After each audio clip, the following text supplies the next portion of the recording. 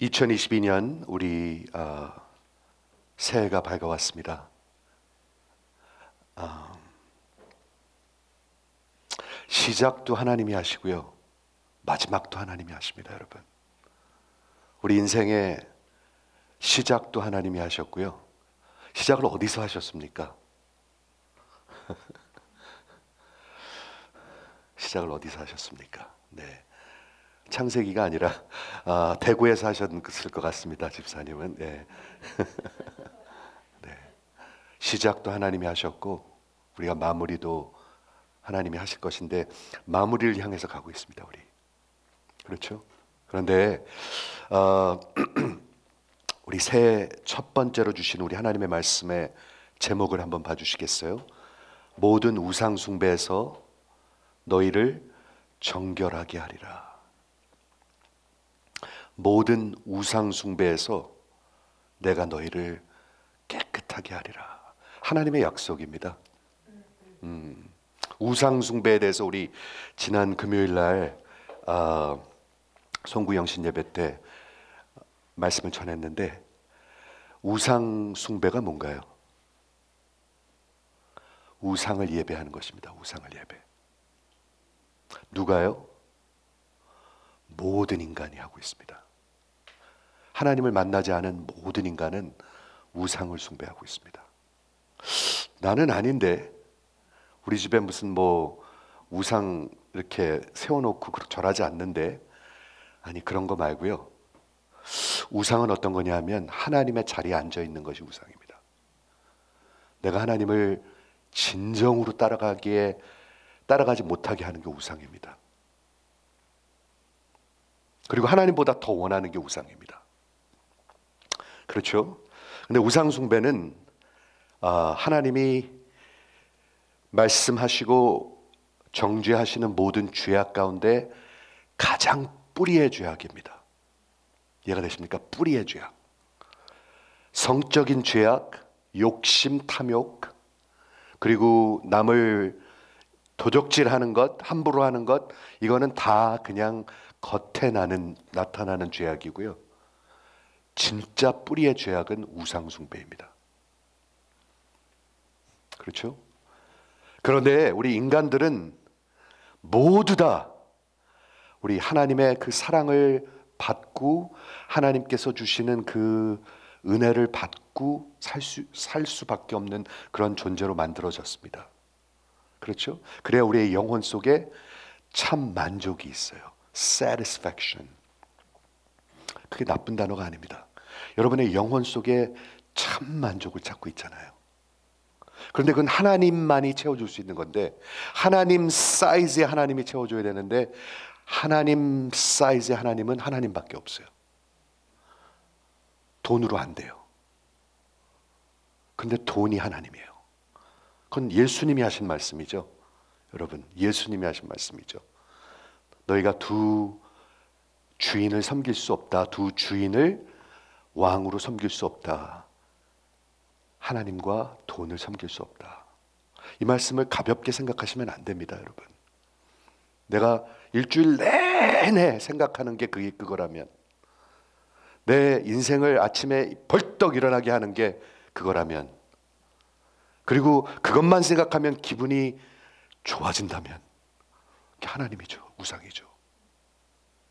우상이죠. 많은 부모님들이 자식이 우상입니다. 저는 이건 뭐 몇십 년 동안 본 것입니다. 이거 그냥 하는 말이 아닙니다. 자식 학교 보내려고 예수고 뭐고 없습니다. 그렇죠? 예수는 그냥 수단일 뿐입니다. 수단. 완전히 우상숭배죠. 완전히 우상숭배죠. 그렇죠? 하나님께서 주실 수, 하나님만 주실 수 있는 그 사랑과 은혜를 다른 데서 찾으려고 그러는 거예요. 자식한테 찾든지 남편한테 찾든지. 그렇죠. 그래서 어머니한테 찾든지 어머니한테 너무 잘하려고 그러는 사람들도 많아요. 그렇죠. 그 문제가 어디 있냐면 우리 인간들은 다 죄 안에서 태어났고 죄 아래 살고 있습니다. 이거 설명했습니다. We were born in sin. We are living under sin. 이게 로마서 3장과 요한복음 9장에 나타나는 나타나는 아, 말씀들인데요. 이 죄라는 것은 뭐냐 하면 하나님 대신에 하나님께 등을 돌리고 다른 데를 쫓아가는 거예요. 그리고 그 만족을 찾으려고 그러는 거예요. 그리고 다른 것이 나의 하나님이 되는 거예요.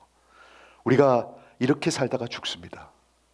그런데 하나님은 그 우상 숭배를 매우 미워하십니다.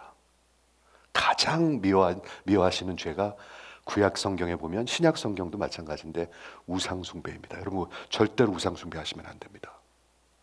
한번 아멘 해 보시겠습니까? 여러분들의 우상이 오늘 말씀을 들으면서 성령께서 비춰 주시면 그 우상을 깨뜨려 버려야 합니다. 두 번째가 돼도 안 됩니다. 우상은 세 번째가 돼도 안 됩니다.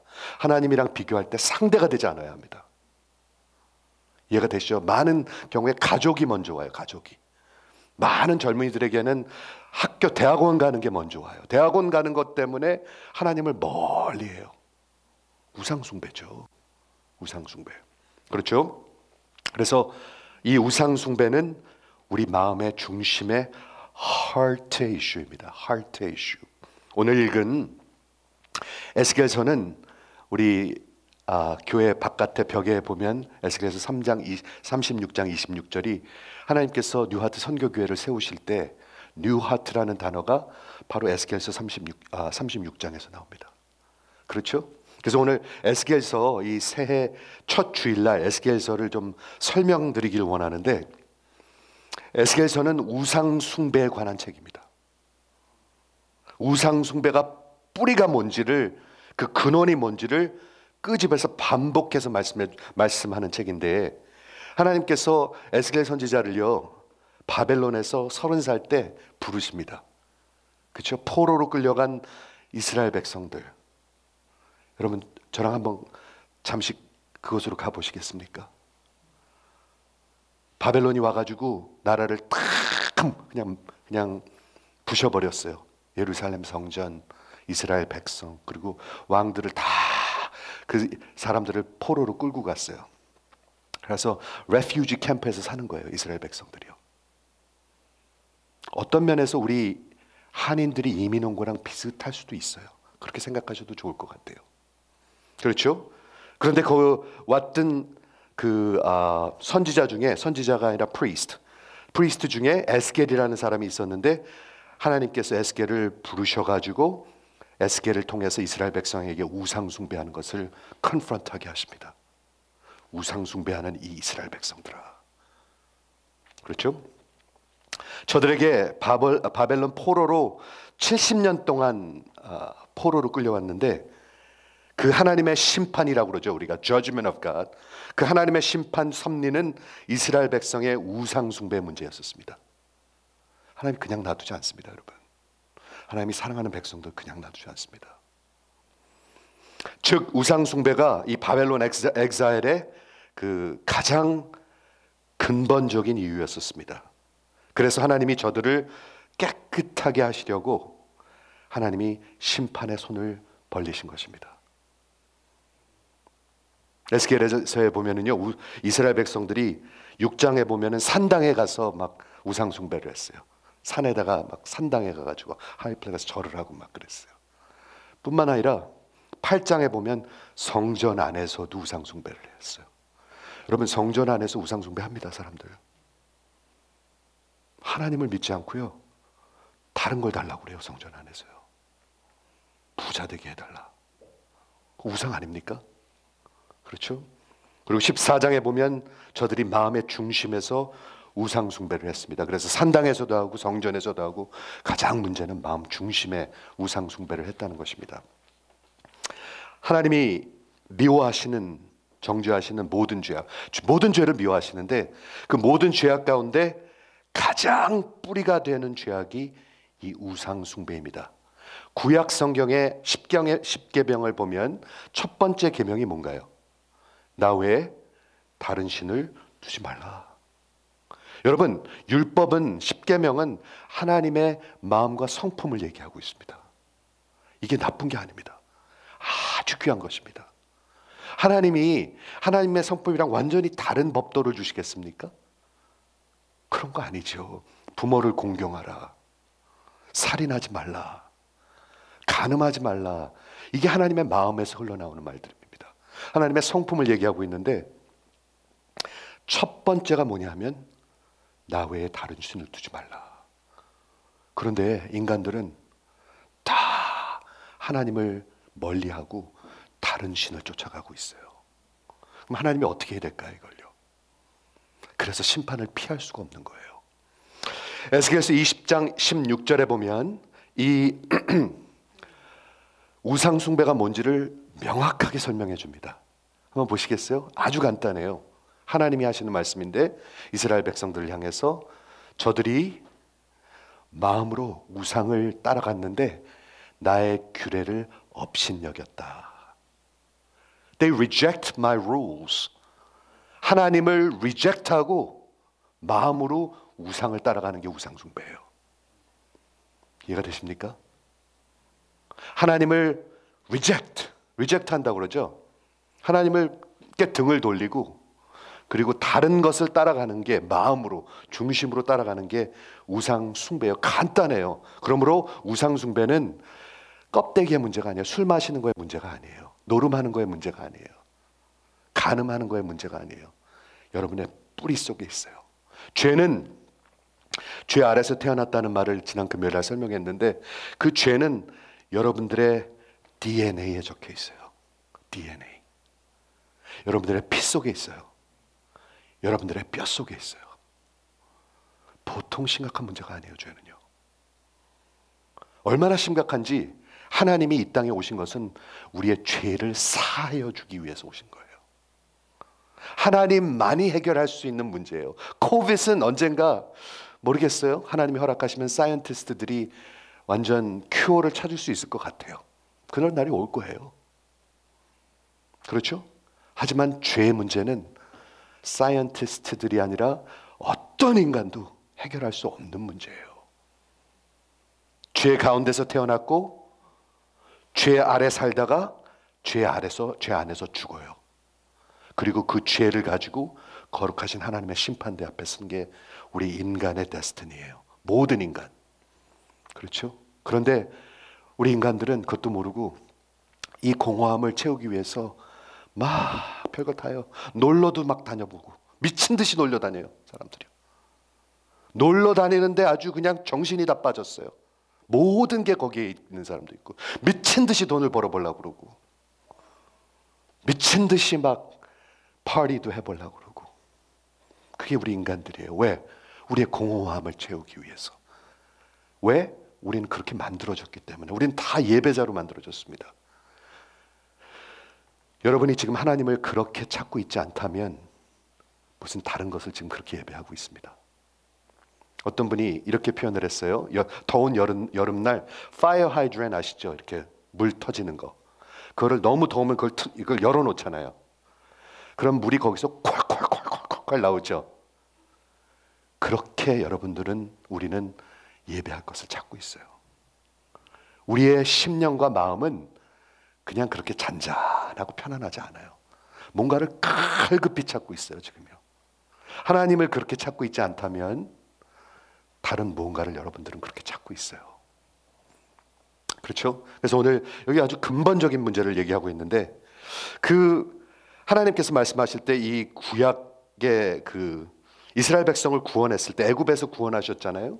근데 구원하셨는데 그때 어, 하나님이 이스라엘 백성한테 뭐라고 말씀하냐면 내 말을 즐겨 듣지 아니하고 저들이 눈에 띄는 바 가증한 것들 우상들을 각기 버리지 아니하고 애굽의 우상들을 가지고 나왔도다.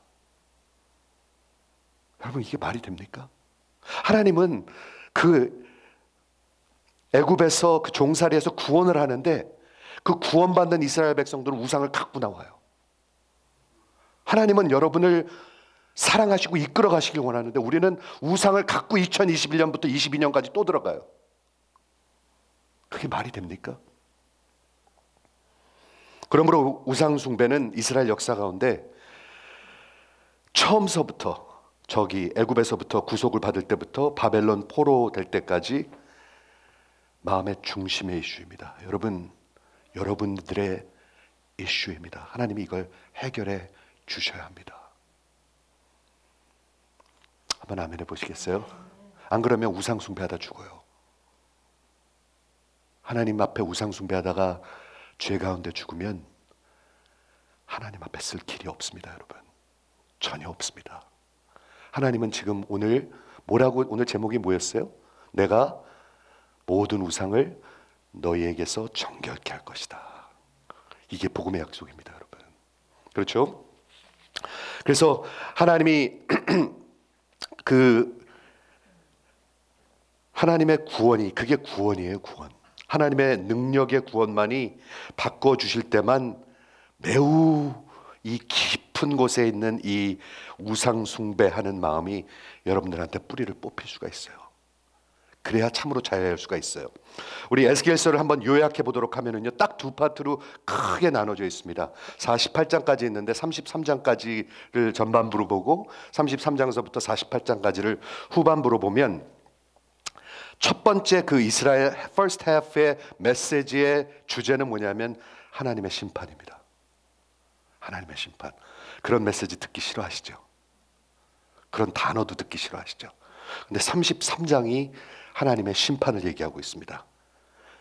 그 유다를 심판하시는 이유는 우상숭배였었습니다. 하나님의 백성인데도 불구하고 우상숭배를 합니다. 그래서 여기서 이 우상 숭배를 두 가지 드라마, 드라마틱한 묘사를 하고 있는데 한번 들어보세요. 재밌어요. 4장에서 11장에는 그 하나님이 이제는 하나님의 시간이 됐다. 내가 너희를 떠날 것이다 하고 성전에서 하나님의 영이 떠나십니다. 여러분 생각을 해보십시오. 하나님의 영이 이 성전에서 떠났다면 우리 뭐하러 모입니까 여기? 하나님의 영이 떠나십니다. 그게 있습니다. 11장에. 그렇죠? 두 번째 드라마틱한 거는 더 기가 막힙니다. 유다의 그 하나님이 떠남과 우상 숭배를 매우 아주 매우 그래픽한 가늠하는 모습으로 그리고 있습니다. 여자가 다리를 벌리고 있습니다. 지나가는 사람들한테 그런 표현이 있습니다.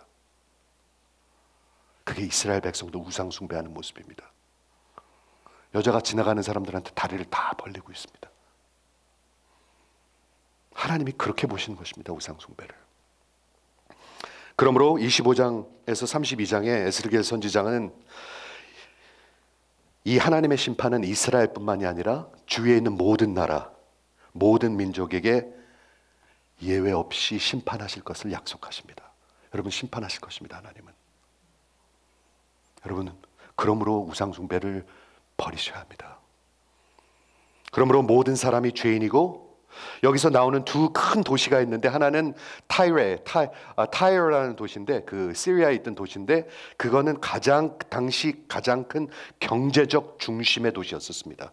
근데 하나님께서 그 도시를 계속 저주하십니다. 경제적 도시. 그리고 또 하나는 애굽이라는 당시에 정치적으로 가장 강한 나라.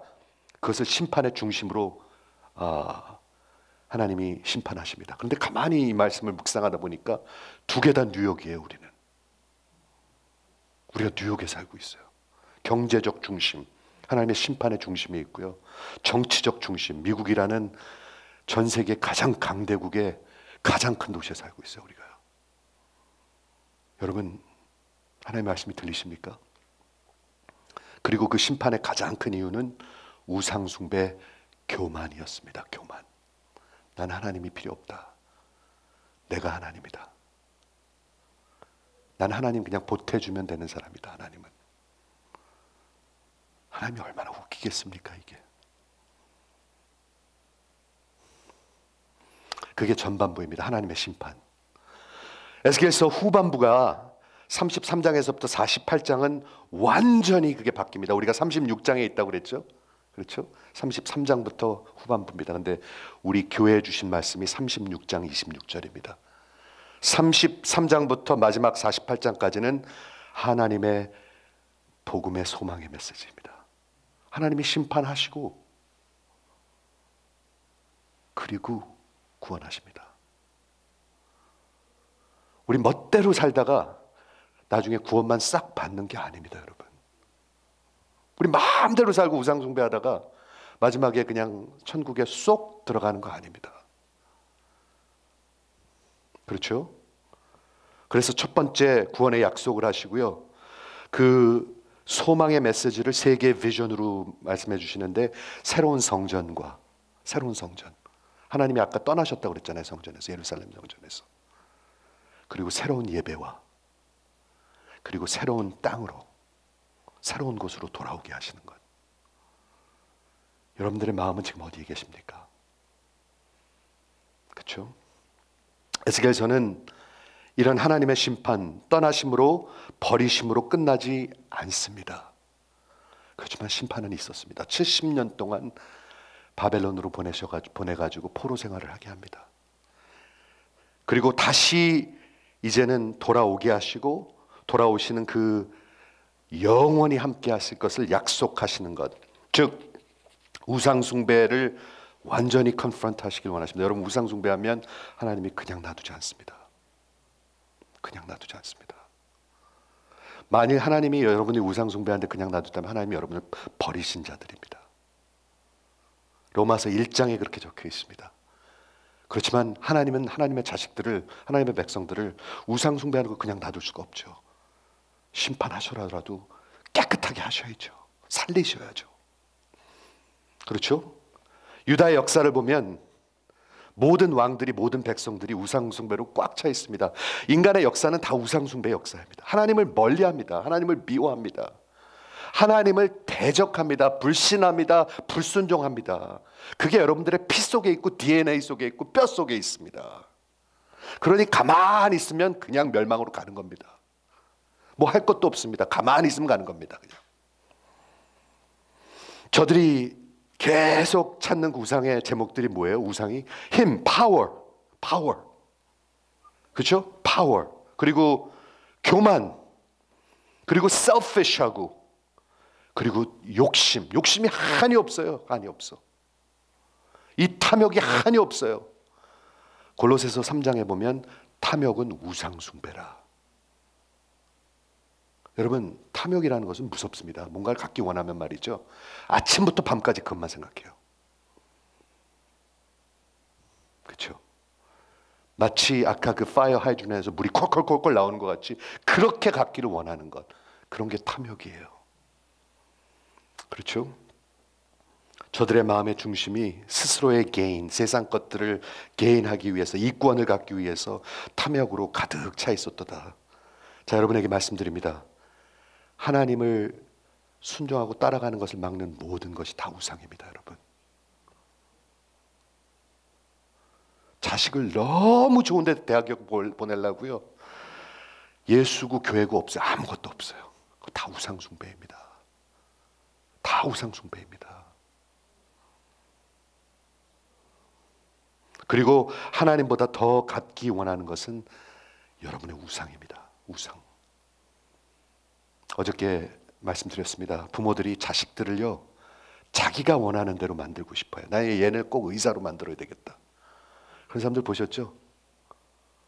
얘는 얘는 반드시 의사가 돼야 된다. 하나님이 우리 인간의 그런 모든 앞날을 이끌어 가시는 분인데 자기가 하나님이에요. 자기가 하나님이에요. 우상숭배입니다, 이거. 그렇죠? 8장서부터 11장에 보면 우상숭배 뿌리의 근원의 이유를 보여주고 있는데 10장에서 하나님의 영광이 저들을 떠나가고 잘 보세요. 하나님이 떠나가십니다. 성전에서. 하나님이 저들을 버리시는 것입니다. 하나님이 버리시는 거예요. 그렇죠? 그리고 바로 심판이 옵니다. 특히 타락한 지도자들에게 옵니다. 지도자들이 타락하면 그걸 면할 길이 없어요. 교회도 지도자들이 타락하면 끝나는 거예요. 목사와 장로들이 타락하면 끝나는 거예요. 선지자들이 그리고 그 프리스트들이 타락하면 그 나라는 끝나는 거예요. 그다 그, 끝나는 거예요. 그리고 하나님이 성전을 떠나버리시죠. 이 모든 것을 보시면서 우리가 뭐를 그리게 돼요? 와, 하나님이 새로 새로운 역사를 쓰실 수밖에 없구나. 하나님의 역사밖에 기대할 게 없구나. 하면서 11장 후반부에 에스겔서의 복음이 선포됩니다. 들어보세요. 복음이 선포됩니다. 오늘 읽은 본문과 너무나 비슷합니다. 내가 그들에게 한 마음을 주고 one heart 세상 반 하나님 반 이거는 우상 숭배의 마음입니다. 세상 반 하나님 반. 그런데 내가 그들에게 내가 한 마음을 줄 것이고 그 속에 새 영을 주며 그 몸에서 돌 같은 마음을 제거하고 부드러운 마음으로 바꿔줄 것이며 여러분 예수 믿으면 마음이 부드러워져요. 표정도 부드러워져요. 그렇죠? 내 귤, 귤, 율례를 따르고 내 규례를 지켜 행할 것이며 아까 규례를 버렸다고 그랬는데 이제는 순종하고 따라가길 원해요. 새로운 어펙션이 생기기 시작해요. 그게 예수 믿는 하나님의 역사예요. 그게 거듭나는 하나님의 역사예요. 그리고 내가 그들의 백성이 되고 어, 저희가 내 백성이 되고 나는 그들의 하나님이 될 것이다. 새로운 언약, 새로운 그런 혼인의 관계 하시면서 다시 워닝하십니다. 그러나 저들이 미운 것과 가증한 것들, 우상들을 마음에 따르는 자는 내가 그 행위대로 갚으리라. 여러분 듣고 계십니까? 어떻게 적당히 되겠지? 적당히 안 됩니다. 하나님한테는 적당이라는 게 없습니다. 그렇죠? 바벨론에서 그 포로 생활하던 이스라엘 민족, 제가 우리 이민자들 한번 생각해 봤어요. 이민교회를 저는 목회한 목사로서 바벨론에 이제 70년 동안 끌려왔잖아요. 얼마나 기가 막혔겠습니까? 당대 최고의 도시 바벨론이라는 가장 강대국의 수도 뉴욕이랑 비슷하지 않았을까요? 거기에 끌려와서 거기서 어, 이제 레퓨지 캠프에서 살았겠죠. 그렇죠? 그리고 하나님의 심판 가운데 있기 때문에 저들이 신앙생활 하는 척 했습니다. 하나님을 섬긴다 했습니다. 다 교회로 모여들었습니다. 우리 이민자들도 그랬거든요. 다 교회로 모였거든요. 그렇죠? 그런데 저들의 마음과 중심은 성향은 전혀 변하지 않았었습니다. 저들은 종교적 종교인들이었었습니다. 반쪽 마음의 거룩, half-hearted piety. 반은, 반은 하나님이고 반은 이 땅에서 잘 살아야 되겠다. 너무 비슷한 거예요, 이게요. 그렇죠? 포로로 온 저들이 하나님의 도움을 받기를 요청했습니다. 그러나 저들의 마음을 하나님께 드리고 드리려 하진 않았습니다. 도와주세요. 위로해 주세요는 했는데 그 하나님 앞에 디보트하고 헌신하진 않았습니다. 그렇죠? 반쪽짜리 거룩, 반쪽짜리 신앙. 우상 숭배하는 신앙입니다. 우상 숭배하는 신앙. 저들에게 하나님이 답을 하십니다. 주세요. 위로해 주세요. 축복해 주세요. 맨날 그러니까 하나님이 답을 하십니다. 뭐라고 답하시냐면 14장 7절에 내가 너희에게 응답할 것이다. 잘 들어보십시오. 너희에게 응답할 것인데 너희가 원하는 대로 응답하는 것이 아니라 내가 심판으로 응답할 것이다. 심판으로 응답할 것이다.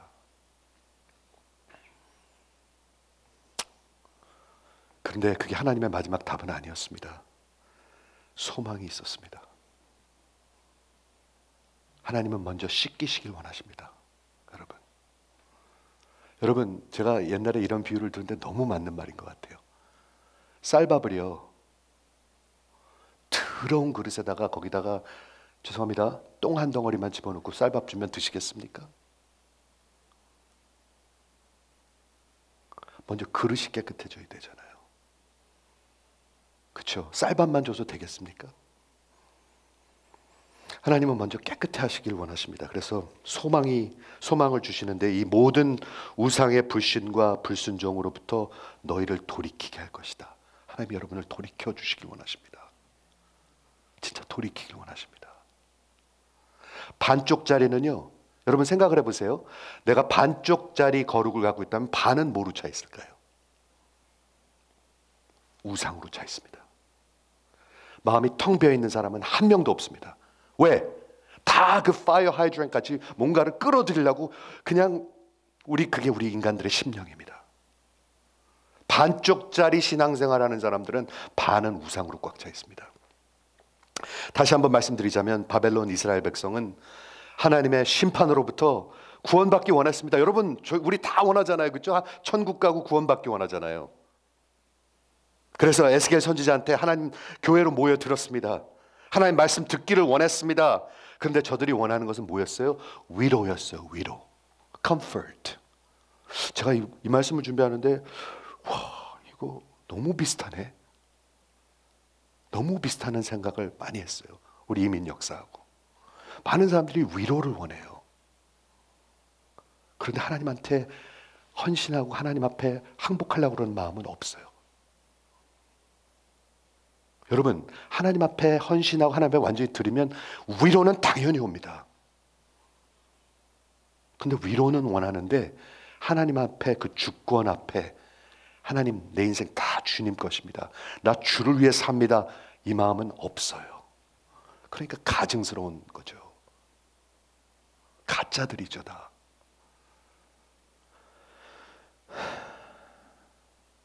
반쪽 경건, half-hearted piety 매우 매우 dangerous합니다. 그 반쪽에 뭐가 있냐면 it's a template for idolatry. 템플릿이 뭐냐면요. 여러분이 틀을 짜 놓은 거예요, 벌써 여기다가요. 여기다 담기만 하면 돼요. 애, 우리 애들 여기 보내야지, 돈 벌어야지, 사업해야지, 놀러 다녀야지. 하나님은 멀리 멀리 갔어요. 누구든지 두 개를 다 가지려 하면 하나님과 세상 반드시 하나님을 떠나게 됩니다. 저는 이 하나님의 말씀에서 그리고 제가 지난 수십 년 동안 진짜로 그런 것 같아요. 누구든지 두 개를 다 갖고자 하면 반드시 하나님을 떠나게 됩니다. 우리 주님이 마태복음 6장 24절에서 이렇게 말씀하셨습니다. 너희는 두 주인을 섬길 수 없다. 잘 들으세요. 우리 새해 첫, 첫날인데 두 주인 섬길 수 없습니다. 하나는 사랑하고 하나는 미워할 것이다. 그리고 하나는 중히 여기고 하나는 경히 여길 것이다. 세상이 중요하면 하나, 하나님을 경히 여기고 있고요. 세상과 돈을 사랑하면 하나님을 미워하고 있는 거예요. 그렇죠? 존 켈빈, 존 켈빈은 우리 인간의 본질은 perpetual factory of idols. 우상을 계속 만들어내요. 계속. 가만히 있는 적이 없어요, 우리는요. 담배 끊으면 노름하고요. 노름 끊으면 뭐, 뭐, 간음하고요. 간음 끊으면 뭐, 포나그래피 하고요. 계속 그렇게 돼 있어요. 왜? 뿌리에 있기 때문에. 뿌리가 뽑혀야 되는데. 노력했는데요. 맨날 노력, 노력해서 안 돼요, 이거는요. 하나님의 역사가 있어야 돼요. 죄의 가장 근본은 우상숭배입니다. 자, 오늘 본문을 보겠습니다. 24절부터 우리 하나님이 에스겔에서의 복음을 여러분에게 약속하십니다. 이런 이런 우리는 이렇게 망할 수밖에 없는 사람들이에요. 그런데 복음이 있습니다. 여기 한번 들어보세요. 복음은 하나님입니다. 24절 내가 너희를 하나님이 하시는 겁니다. 복음은 내가 너희를 여러 나라 가운데서 인도하여 낼 것이고 여러 민족 가운데서 모아다가 다시 예루살렘으로 고국으로 이스라엘로 돌아오게 해서 맑은 물을 너에게 뿌려서 우리 하나님이 씻기십니다. 너희를 정결하게 하고 너희 모든 더러운 것과 모든 우상 숭배에서 너희를 정결하게 할 것이다. 자유하게 할 것이다 약속하십니다. 하나님이 허튼 소리 하지 않습니다, 여러분. 그러면서 내가 새 영을 너희 속에 두고 새 마음 new heart를 너에게 주어 너희 육신에서 그 딱딱한 굳은 마음을 제거하고 부드러운 마음을 줄 것이며 내 영을 너희 속에 두어 너희로 내 윤례를 행하게 하리니 너희가 내 규례를 지켜 행할지라. 내가 너희 조상들에게 준 땅에서 너희가 거주하면서 너희는 내 백성이 되고 나는 너희 하나님이 될 것이다. 이게 에스겔서의 복음입니다. 가만히 들어보면 예수님이 가르친 복음이랑 너무 똑같죠? 너무 똑같습니다, 여러분. 수백 년 전에 이미 예수님께서 하실 것을 다 약속하셨습니다. 다섯 가지를 아니 세 가지를 이미지를 그려 주셨는데 먼저 물로 깨끗하게 하십니다. 여러분 더러워요. 우상 숭배하는 사람 아주 더러워요. 하나님이 깨끗하게 씻겨 주세요. 우리 주님이 말씀하셨습니다. 물과 성령으로 거듭나지 아니하면 너희가 하나님의 나라에 들어갈 수 없다. 귀담아 들으시기 바랍니다. 물과 성령으로 거듭나지 아니하면 하나님 나라 못 들어갑니다. 종교 생활로 절대로 못 들어갑니다. 그렇죠? 두 번째 그림은 뭐냐면 새로운 heart, new heart입니다. 새로운 heart는요. 새로운 것을 사랑합니다. 새로운 것을 원합니다. 새로운 것. 그냥 옛날 거 그대로 붙들고 있는 거 아니에요. heart transplant예요. transplant. 이해하시죠? 세 번째는 새로운 영입니다. 새로운 영. 제가 잠시 설명하겠습니다. 여러분 먼저 우리 주님이 여러분을 깨끗하게 하시길 원합니다. 어디를요? 겉을? 아니요. 여러분의 속을요. 저 좀 보세요. 여러분의 속을 깨끗하게 해 주신대요. 뭐로 깨끗하게 할까요? 예수의 피. 예수의 피. 예수의 피입니다, 여러분. 나의 죄를 씻기는 예수의 피밖에 없네. 여러분 예수의 피입니다. 적당히 씻고 하나님 앞에 우리가 갈 수 있겠습니까? 얼마나 더럽습니까 우리가? 우리의 속 사람을 정결케 하시고 우리 주님이 말씀하신 대로 물과 성령으로 물과 성령인데 성령은 알겠는데 물은 뭔가요? 하나님의 말씀입니다. 복음입니다. 하나님의 말씀을 여러분 사랑하십니까? 찾으십니까? 그 말씀이 진짜로 들리십니까? 가장 찾는 것이 하나님의 말씀이십니까? 그 하나님의 물과 성령으로 거듭나지 아니하면 너가 하나님의 나라에 들어갈 수 없다. 하나님 나라 못 들어가요. 두 번째 New Heart. 우리 교회 이름이 뭐죠? New Heart. 그게 그 New Heart입니다, 여러분. 연석극 New Heart가 아니에요. 하나님이 주시는 New Heart입니다. 하나님의 하트입니다. 하트에서 뭐가 뭐가 시작되죠? 모든 게 시작되는 겁니다. 내가 예, 예전에 사랑하던 게 별로예요, 별로. 아니요, 아니, 싫어져요. 술이 싫어져야 돼요. 내가 끊어야지가 아니라 싫어져야 돼요. 세상에 그런 그냥 수, 그냥 그 잡다한 것들이 싫어져야 돼요. 그리고 새로운 것들이 사랑스러워지는 거예요. 새로운 것들이. 그게 뉴하트잖아요.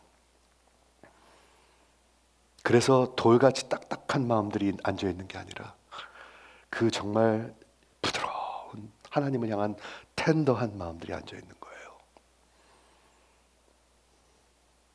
새로운 것을 원하고요. 새로운 것을 디자이어하고요. 새로운 것을 위해서 살아야 되겠다. 2020년도에 여러분의 꿈이 뭐 도대체 뭡니까? 작년이랑 비슷하십니까? 아이고. 정말 하나님을 향한 꿈이 있으십니까? 원하는 게 있으십니까? 우리 하나님을 찾으시기 바랍니다. 세 번째 그림은 새로운 영입니다. 하나님이 거듭나게 하시는 새로운 영. 기독교 복음은 영의 역사입니다, 여러분. 마리아가 어떻게 처녀가 잉태하여 아기를 낳죠? 성령이 임하셨습니다. 하나님의 그 능력이 임재하셨습니다. 거하셨습니다. 성령이 임하실 때 예수 믿는 사람들은 성령이 거하시는 사람들입니다.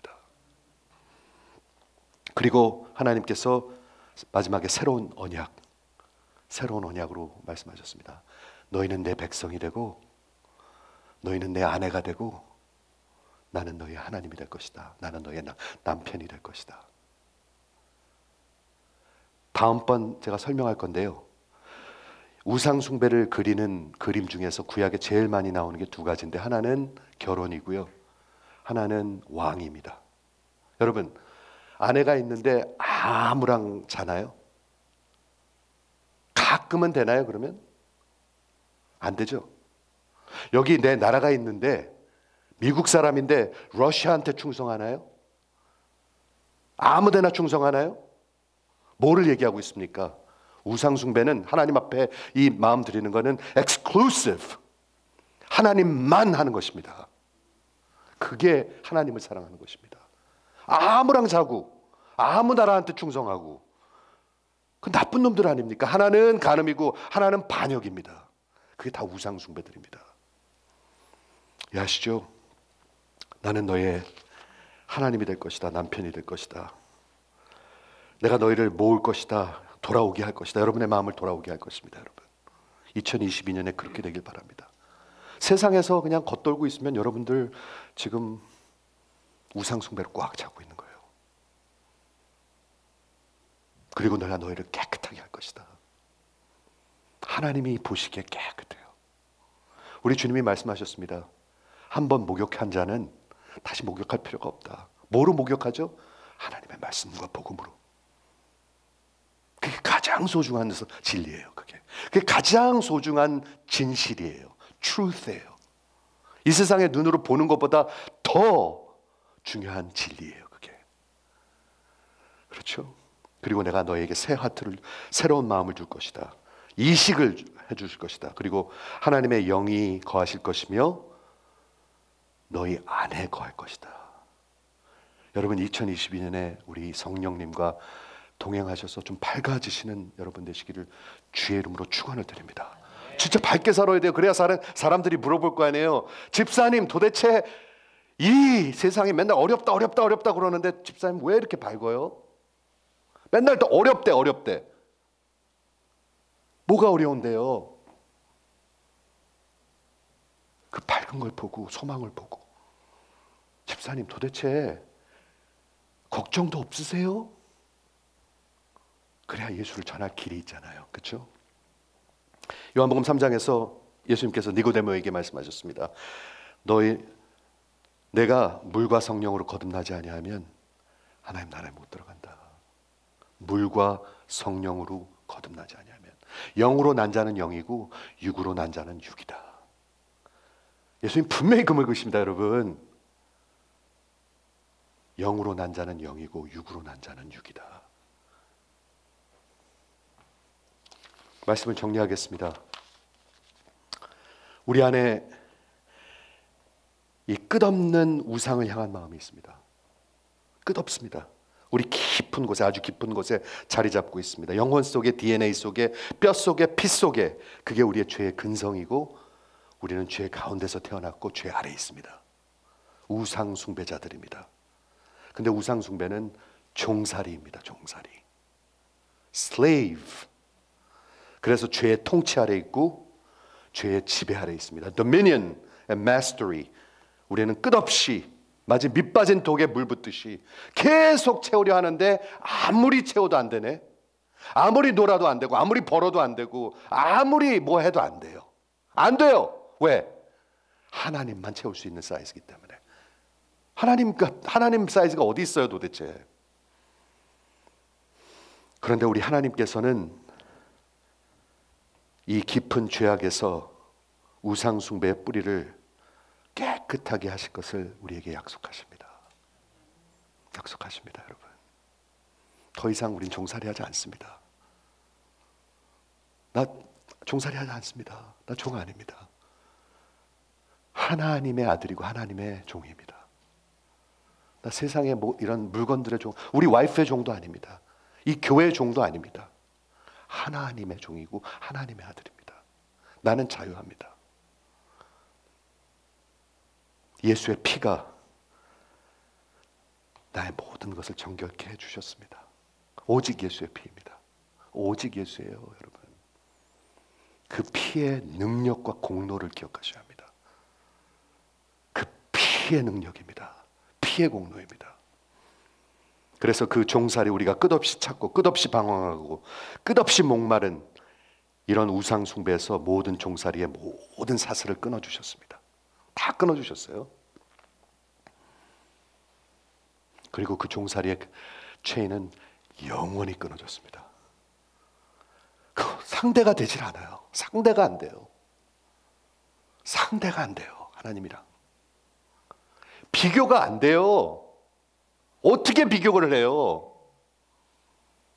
비교가 안 돼요. 그게 하나님의 영의 역사고 오늘 2022년 새해를 시작하는 하나님의 백성들에게 우리 하나님 주시는 약속의 말씀입니다. 내가 너 너희의 모든 우상 숭배를 깨끗하게 할 것이다. 그분 앞에 완전히 서렌더 하시고요. 그놈의 우상들 다 집어 던져 버리시기를 주의 이름으로 축원을 드립니다. 기도하겠습니다.